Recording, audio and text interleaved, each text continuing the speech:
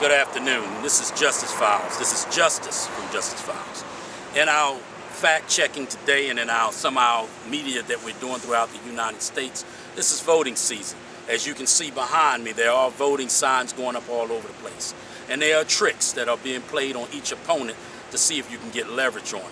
Now, Napoleon, when asked a question, the lack of great statesmen in the world today, he responded, to get power, you need to show absolute pettiness. To exercise power, and that's the key, you need to show true greatness.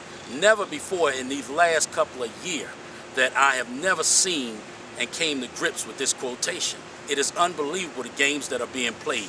So in this one, this section, we're going to name it True Greatness and Pettiness. And we're going to let you decide what is petty and what is great. And maybe that can show you some aspects on the way you vote. Remember, your vote counts.